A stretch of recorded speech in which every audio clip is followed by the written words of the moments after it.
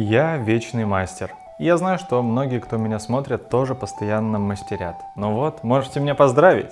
Я наконец-таки выбрался из-за ширмы и сел за кресло игрока. Не то чтобы я совсем не играл, но то были какие-то коротенькие ваншоты. А сейчас я попал хоть и на маленькую, но законченную кампанию. Для меня это стало большим счастьем и откровением.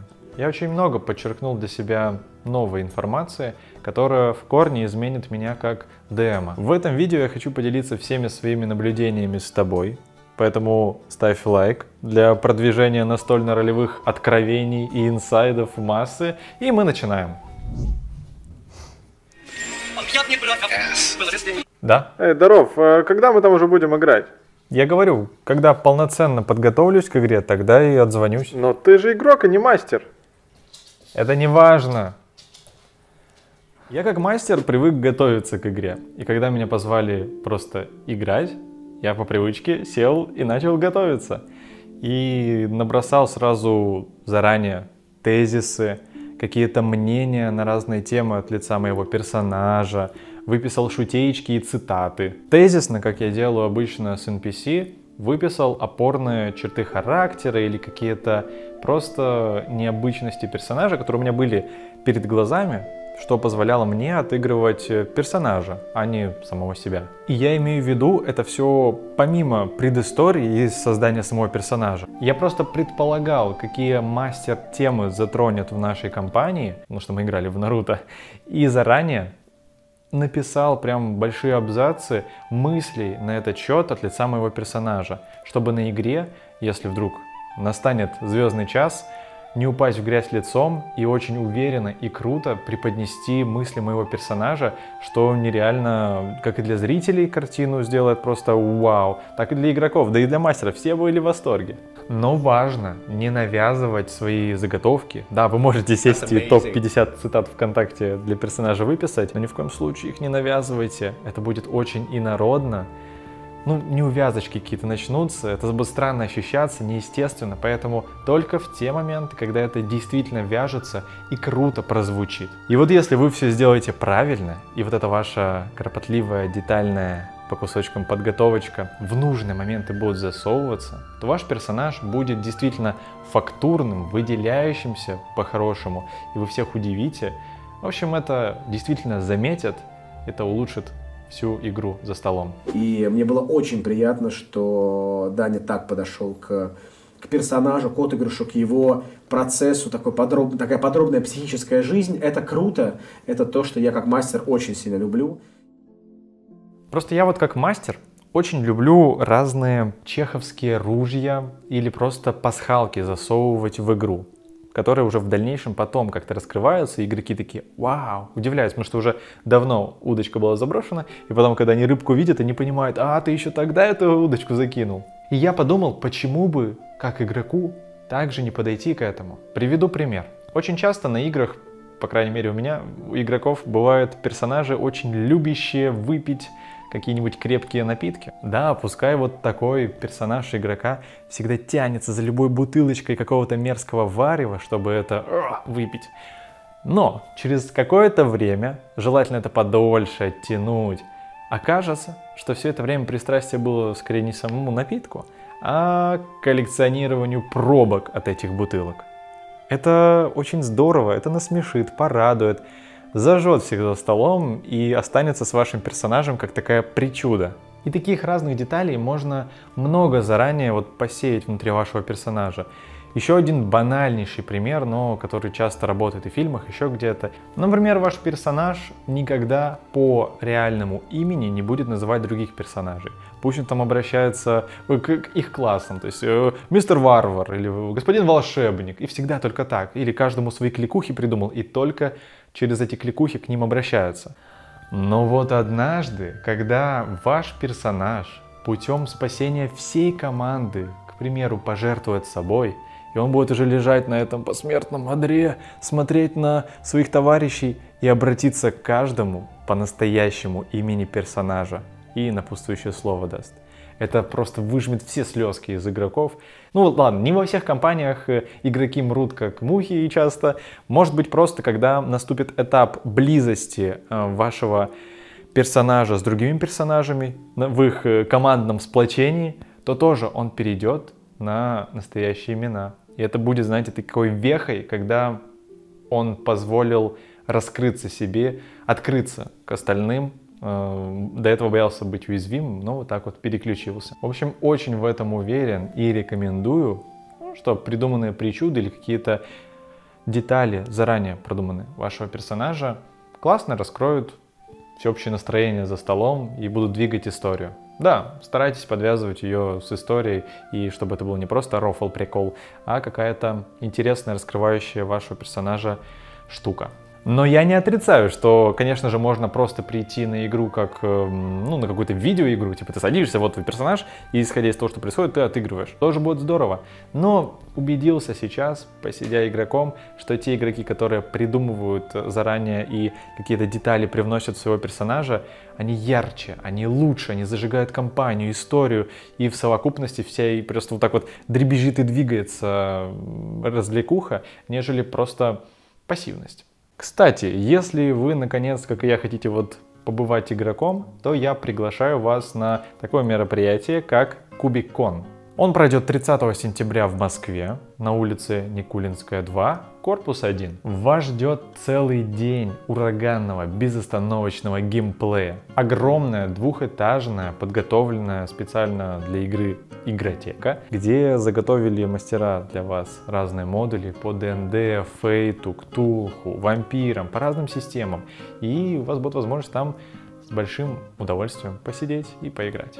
Также вас там ждут разные лекции, мастер-классы демов, разные развлекательные стенды с презентациями. Там будет классная ярмарка с разными ролевыми товарами. И там можно наконец-таки урвать самый счастливый и классный D20, который сквозь все игры в дальнейшем с вами пройдет.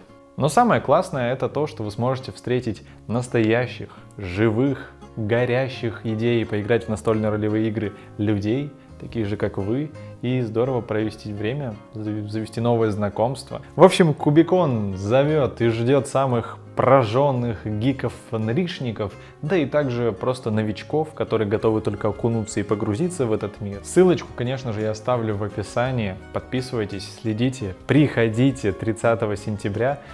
Отдыхайте, развлекайтесь, ИРЛ — это здорово. Ребята молодцы, несут светлое, доброе, вечное, в темное подземелье с драконами. Круто.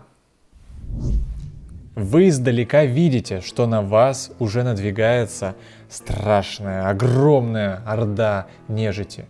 Вот-вот, они будут в городе. Ну раз ты говоришь, что мы видим их где-то там, вдалеке, да, ты сказал, я хочу подойти к тому круто проработанному тобою NPC. Я чувствую, что он с нами до конца кампании, верно, мастер? Да нет, вы всех пропустили, моих продуманных NPC. Этого я за одну секунду придумал. Еще для меня стало откровением, насколько мило и довольно топорно выглядят вот эти мастерские сюжетные крючки, которые так и тебя и манят, как игрока, иди туда, там сюжет. И я сразу понял, почему у многих игроков возникает некое отторжение и нежелание идти на эти штучки, они вот так реально как слепые все игнорируют. Особенно, когда ты игрок-новичок, а я на самом-то деле игрок-новичок, потому что вот я за игровое кресло сел, и мне хочется все щупать, изучать. И когда я вижу, что мастер ведет туда и даже ведет даже в узконаправленное для решений, то есть уже как бы к задаче ведет, как это поступить, подступиться, чтобы что-то сделать, сразу отторжение. Сразу хочется как-то напортачить. Плохим хочется побыть игроком, порушить мастерский мир. Просто я помню себя, будучи мастером, как мне ну, больно, неприятно, того, что игроки, правда, игнорируют очевидные вещи, не увлечены сюжетом, но теперь я понял, как бы первородное вот это ощущение. Ну, во-первых, да, возможно, мастер как-то неправильно все это маскировал или неправильно подавал, возможно. Но с этим легко столкнуться. Именно поэтому хочу донести скорее до игроков, что надо принять все-таки это как некую данность, некую условность и идти на поводу мастера насильно и осознанно. Просто когда мастер в очередной раз э, оголяет такую сюжетную веху, точку интереса, все-таки лучше пнуть самостоятельно себя и пойти туда, взаимодействовать, показать заинтересованность, и тогда, скорее всего, сюжет совместно круто завернется, раскроется, нежели вы специально, как такой пакостник-негодник, каким хотелось быть реально внутри, внутри э, будете игнорировать это. Но я чувствую, что вновь это немножко спорная дилемма, которая, наверное, требует обсуждения, и сделанный мною вывод поспешный. Поэтому я бы очень хотел услышать действительно мнение большого количества людей, поэтому если не сложно, прямо напишите. Я хочу поставить точку в этом вопросе, потому что как будучи мастером, как побывав игроком, все это как-то шероховато.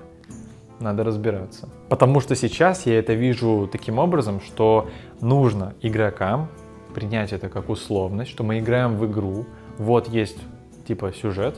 И когда мастер немножко неловко или как-то вот так преподнес точку интереса, все-таки с ней повзаимодействовать. Просто игнорировав ее, эм, будет такой диссонанс.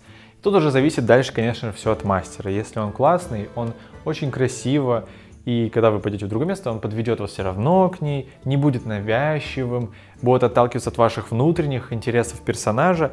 Но вот я на игре, будучи, реально почувствовал это первобытное желание игнорировать сюжет. И мне очень теперь интересно, как действительно подавлять это желание или чтобы оно не вызывалось. Жду, короче, ваше мнение в комментариях. Вы видите надпись на стене 2 плюс 2 равно. Дальше что-то непонятно. Прям кажется, что туда что-то требуется дописать. Рядышком лежит мел. Что вы делаете? Тогда, мастер, я беру этот мел, ем его и с ноги пытаюсь выбить дверь. Реально, квесты головоломки это полнейшая жесть. Это просто... Я всегда слышал советы, что упрощайте, делайте все проще, как для учеников начальной школы головоломки. Не надо все усложнять, потому что ну, это действительно тяжело вникнуть. Я не верил, я как мастер придумал идеи, вроде справляются, решают что-то, я им там подсовываю подсказочки. Но сейчас, когда я оказался игроком, и передо мной предстала головоломка, я просто все, я ничего не понимаю, хотя она базовая, понятно, а я вот просто сижу, осматриваюсь, и мне даже не хочется с ней взаимодействовать. Ну, возможно, у всех по-разному. Кто-то любит и грызть гранит головоломок, но я выпал в осадок, и мне прям не то что отвращение, но мне было страшно. Я такой, а, э, не могу решить, неприятно, непонятно. В общем, не мой тип э, ивентов на игре. Может быть, это из-за этого, а может быть, так для многих. Поэтому просто хочу выразить это, делюсь опытом. Лично для себя, да, я понимаю, что и будь головоломка простой, игрок с большей вероятностью без ваших подсказок ее решит, и останется от этого в восторге. А если головоломка средней сложности или сложная, и игроки ничего не понимают, а еще и вы будете неаккуратно на блюдечке выдавать решения, то они такие, а, вот так это решалось, и решат за счет вашей подсказки, останутся неудовлетворенными, униженными даже, возможно. Не, это будет плохо. Поэтому все-таки я останусь при том мнении, которое везде базированно так вот вылезает, делайте головоломки простыми. Да, я с этим соглашусь. Но если вдруг ваши игроки не могут решить, то, пожалуйста, попробуйте выдать решение игрокам очень нативно и ненавязчиво. Там, через проверочку, через воспоминалочку. Как-нибудь всеми силами сделайте так, чтобы игрок почувствовал, что он сам додумался до решения. Это будет лучше, чем вы в лоб скажете, да. А, мастер, а ты меня вообще уважаешь? Да. А ты меня уважаешь? Доверяйте мастеру, да. Во что бы то ни стало, доверяйте мастеру. Доверие я почувствовал, что это такой ключевой момент на игре. Не набрасывайтесь на мастера сразу, если что-то не так. Если вот правда вы чем-то озадачились, что-то вам не понравилось, что-то вас расстроило, как игроку лучше это придержать в себе и после партии обсудить. Обязательно вынести на обсуждение. Но внутри самой игры не бунтоваться, не кричать, что это неправильно, это не так, а мне это не понравилось. Потому что, скорее всего, с большей вероятностью, это лишь э, во многом испортит всем как бы игровой процесс. Потому что нас тут много, мы команда, все играем вместе. И стоит попридержать коней на обсуждении, уже потом разобраться. Да, весь этот свежий и довольно банальный опыт я получил, э, будучи игроком, мы играли в Наруто, по системе ДНД, и там я играл с Магелланом.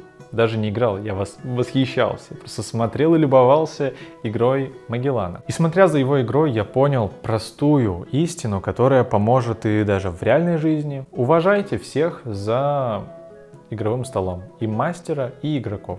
Просто как только с вашей стороны мастер почувствует искреннее уважение, и игроки почувствуют искреннее уважение, то все за столом начнет э, как истинный такой полноценный механизм работать. Все шестеренки правильно встанут, все теплота и комфорт окутает вас всех. У меня была четкая цель, которой я следовал как мастер, это быть фанатом, быть искренним фанатом своих игроков, болеть за них представлять, что ты строишь вокруг них целый мир, и ты фанатеешь и хочешь, чтобы они добились успехов, кайфовали. И понял, что со стороны игрока нужно действовать абсолютно так же. Если ты заранее себя настроил на то, что ты должен быть фанатом мира, который строит мастер, фанатом других игроков и их э, жизненных путей персонажа, вот этого развития, фанатеть и желать помочь, быть командным игроком, то вдвойне просто приумножится взаимный вот этот комфорт и динамика даже игры, потому что все будет направлено в нужное русло и сыграет по полной. Слушай, а можно тут выйти? Как мы победим? Блин, я закончились ячейки. О, черт, черт. Кстати, а что ты делаешь? Я? Да, ты. А, я... Я его бью. Да, Вот это вот отыгрыш. Да, спасибо.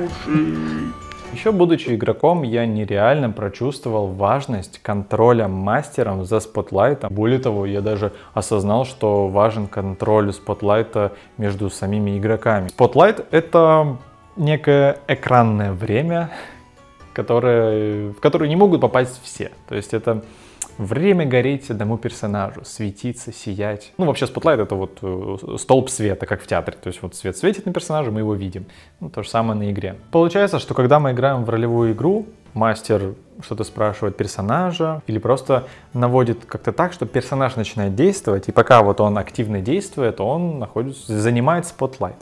Остальные игроки смотрят с восхищением, фанатеют, я надеюсь, или злятся, что это я хочу снова, дайте мне spotlight. Важно мастеру понимать, что когда один игрок действует, занимает spotlight, Остальные игроки в неком фоновом режиме. Они такие зрители, слушатели. Они могут сразу же при желании там взаимодействовать и тоже прыгнуть под этот лучик света, но не все игроки понимают, когда это делать. Кто-то хочет, но боится как раз таки занимать э. Именно поэтому вы как мастер должны очень филигранно и аккуратно этим лучом проектора светить на всех. Просто пока игрок э, забирает э, spotlight, остальные как бы грустят.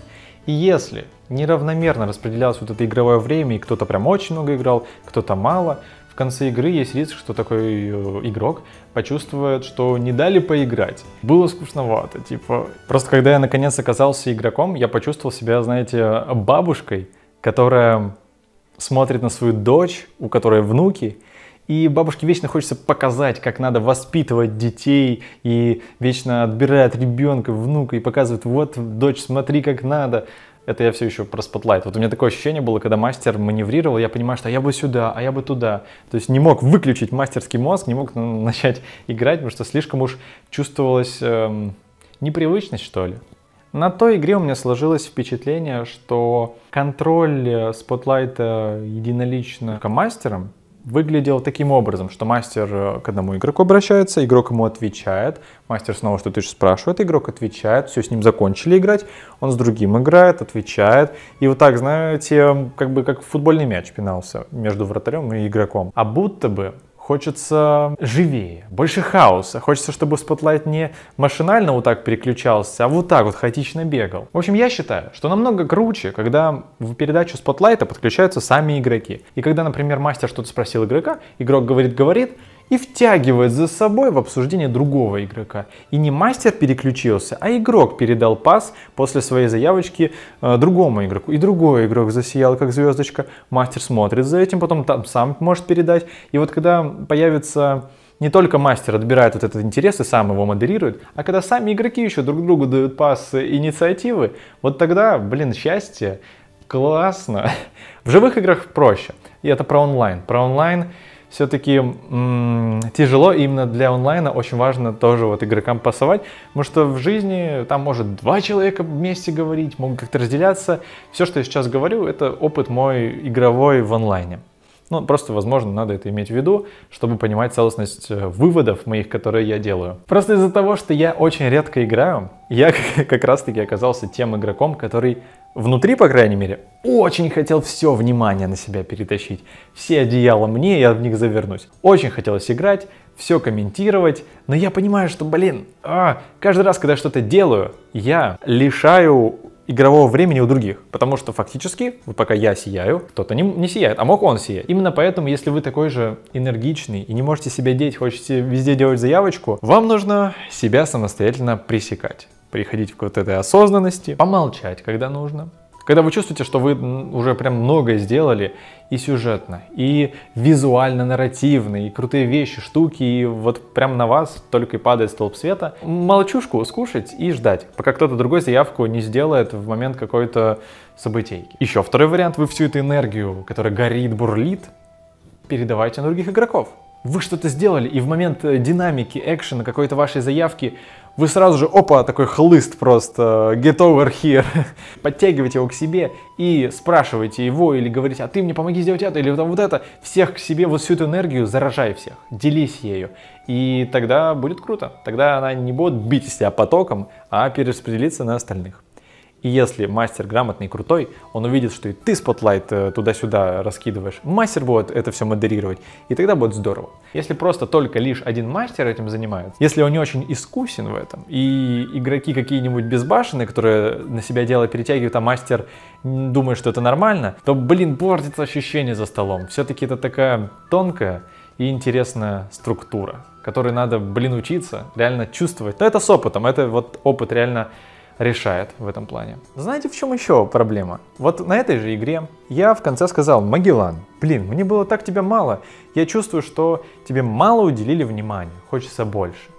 И что Магеллан говорит? Говорит, нет, мне было здорово, мне было очень комфортно, я с удовольствием за вами наблюдал, когда хотел, говорил. У меня не было такого, что я хотел сказать, и мне не давали сказать. Я был удивлен. Я понял, что внутренние ощущения у всех игроков разные. И ведь правда, оглянувшись назад на игры, проведенные мною, были же те игроки, которые просто смотрят, просто зрители, и они нереально от этого кайфуют. Да, вот на живых играх помню, Надя, если смотришь это, я помню, как ты промолчала большую часть игры, а в конце ты больше всех выражала радость и хотела продолжать играть. Те ребята, которые активно участвовали, в конце сказали, было здорово. А Надя, которая меньше делала заявок, просто сидела в конце, сказала, охеренно, хочу больше, еще, еще, и вот накидывала восторженные отзывы. Поэтому, помимо вот самой структуры модерирования, нужно еще понимать, а кому нужен-то вообще этот spotlight, потому что иногда некоторые игроки хотят побыть зрителем, покайфовать, и если вы будете насильно, такой крутой модератор, чтобы всем было поровну времени, вытягивать таких игроков как-то вот жестко, типа, а ты что думаешь, а ты что делаешь, игрок растеряется. Он такой, а, а, а, и сделает заявку, которую, допустим, он не хочет или боится. Тем более, если он новичок. Таким игрокам нужно особый подход в каких-то более спокойных сценах, когда у них есть время подумать. Или нет. Или я нахрен не знаю. Реально, Spotlight сложная отдельная тема, которая стоит, на которой стоит прям зациклиться и в момент игры изучать. И потом, наверное, отдельный ролик. Потому что это основополагающая тема, которая, от которой зависит удовольствие и игроков, и мастера. Да, Ставьте лайк, если вам нужна тема про Spotlight.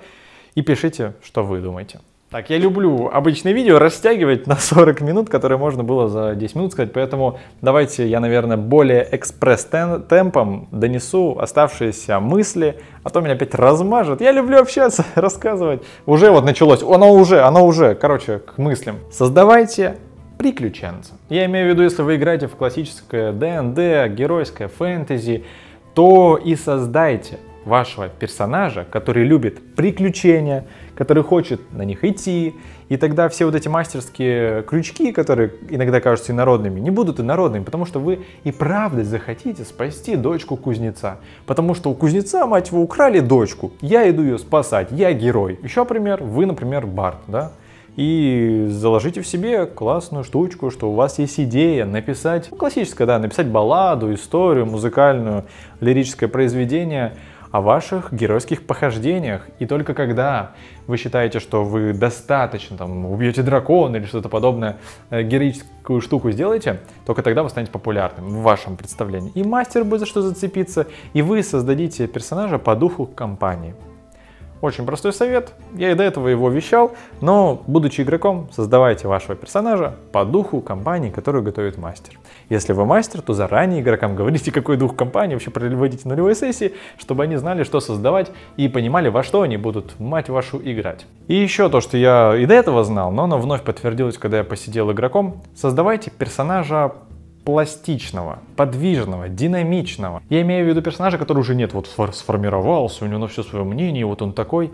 Нет, лучше заранее создать такого персонажа, которого вы даже представляете, как будете развивать. Вам тогда не станет скучно на протяжении длительной кампании играть за одного и того же, там, допустим, безумного варвара. Более того, всем остальным за столом тоже будет менее скучно, потому что вы будете меняться. Если кампания начиналась вот так, заканчивается уже вот так, то есть персонажи уже фактически будут другими. Это драматично, это круто, за этим интересно наблюдать, это вот просто буквально в чате. Мы стримим для этого, поэтому это еще более важно. Прям в чате пишут, как здорово, когда персонаж раскрылся, изменился, и на игре это чувствуется.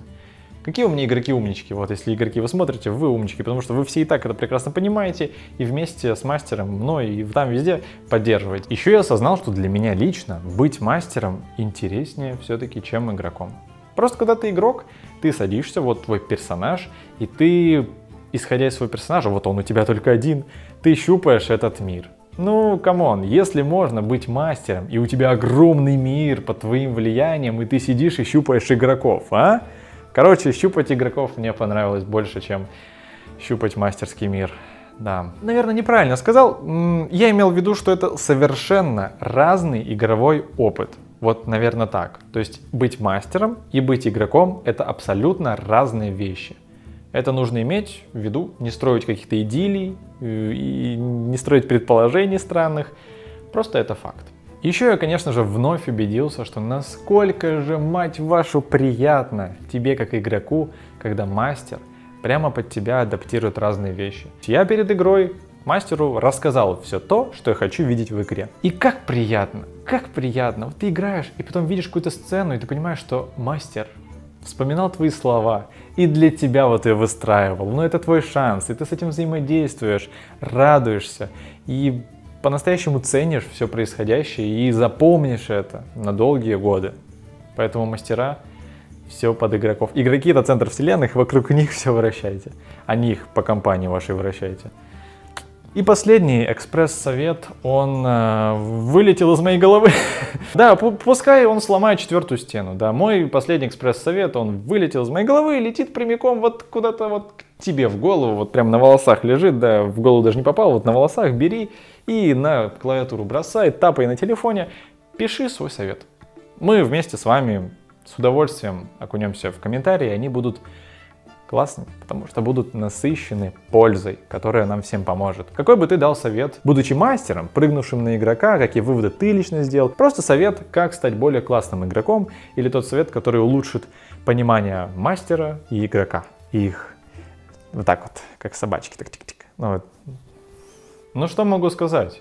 Игра в ДНД в качестве игрока для меня стала удивительным, таким свеженьким опытом, который позволил заново вообще посмотреть на мастерское дело.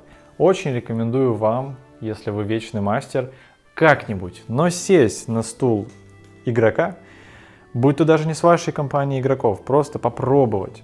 Это много... Это будет, короче, классный толчок для вашего вот этого мастерского навыка, опыта. Странно и здорово посмотреть вот на мастерское дело по ту сторону ширмы. Это было круто. Спасибо за просмотр. Жмякайте лайк, если вам было приятно и полезно провести вот это вот время со мной. Обязательно подписывайтесь, если хотите больше в своей ленте видеть э, ну, таких вот ДНДшных роликов отдельно. Отдельное спасибо, конечно же, моим дайсятам, моим жителям, бойцам чернил и драконов. В общем, это все про Бусти отсылка, если интересно узнать крутой формат живого взаимодействия меня и э, подписчиков на Бусти, то по ссылке в описании вы найдете Бусти, где меня сможете поддержать, как эти очуменные ребята, которые уже это сделали. Отдельный поклон, отдельное спасибо сники героям, а именно доктору Морсу, кандидату, Гилм Геймсону, мятежнику Джеку, Фео Павлову, рыжему библиотекарю, Александру, прошу прощения, Алексею Демину, Владиславу Шакуте, Мурзику, Короли, Королю Лене и Карлов.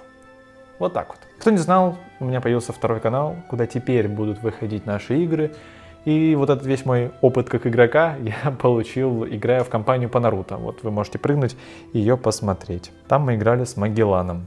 Кто знает, классный чувак. Желаю вам всего классного, крутых игр. И посмотрите этот ролик вот тоже, он будет вам полезен. Вот он, вот он, я на него показываю пальцем. Пока!